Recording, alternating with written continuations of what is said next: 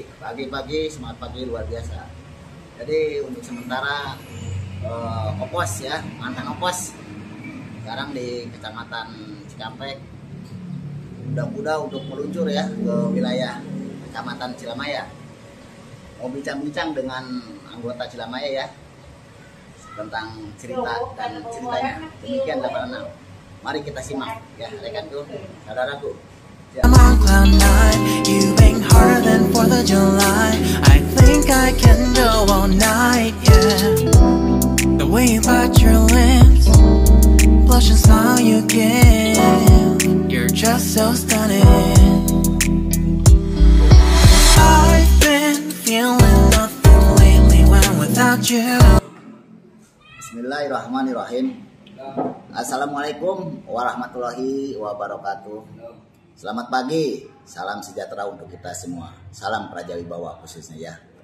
Ini anggota Satpol PP eh, Kecamatan Cikampek mau mewawancari dengan anggota dari Kecamatan Cilamaya Wetan ya, Bapak Aan.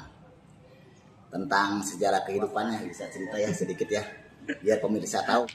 Jadi begini, asal muasal menjadi anggota Satpol PP di Cilametan yang pertama mungkin sudah takdir dari Allah Subhanahu Wa Taala mengasih rezeki untuk kami pribadi untuk menjadi anggota Pol PP di Kecamatan Cilamaya Wetan.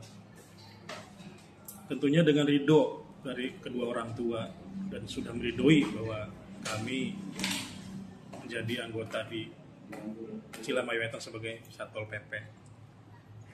Meski jadi anggota di Pol PP ini dan apa namanya ini, Pengabdiannya Pak ya. pengabdian intinya pengabdian kepada negara Ya, pengalaman ya. pengalaman Nah sekarang Pak An udah punya anak berapa Pak untuk sementara anak masih tiga Ya, Asli selama ya asli Cilamaya istri alhamdulillah masih satu.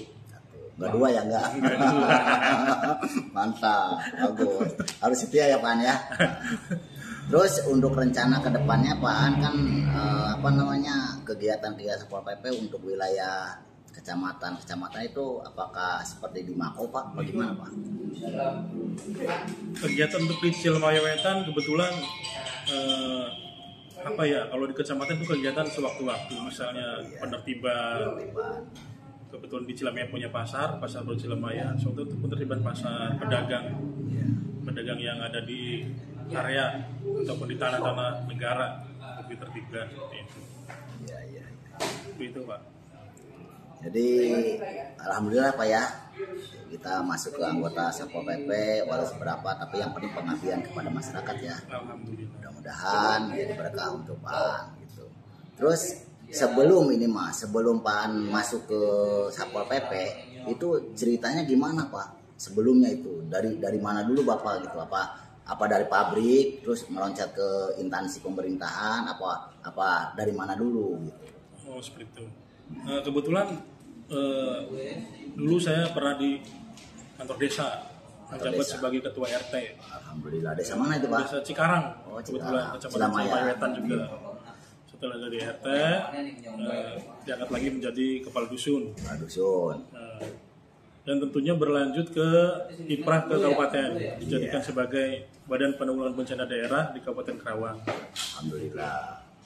Awalnya saya memang menjadi Ya. Untuk mendasari dan menjiwai Satpol PP, dasarnya dari BPPD Kabupaten Karawang. Kebetulan di Satpol PP Cilamaya ini membutuhkan personil. Iya. Saya masuklah ke Pol PP Cilamaya Wetan.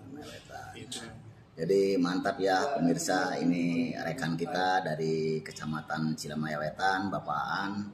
Pengalamannya luar biasa. Dari sebelum masuk ke Satpol PP dia itu udah bisa atau udah berpengalaman di bidang pemerintahan. Jadi untuk sementara eh, demikian ya pemirsa bincang-bincang dengan rekan saya ini Bapak An anggota Satpol PP ya. Kalau beliau ini dari anggota Satpol PP Kecamatan Cilamaya Wetan, kalau saya dulunya dari Mako, ya sekarang pindah ke Kecamatan Cikampek. Mudah-mudahan khusus untuk anggota Satpol PP seluruh ya khususnya daerah wilayah Kabupaten Karawang semangat ya. Semangat. Assalamualaikum warahmatullahi wabarakatuh.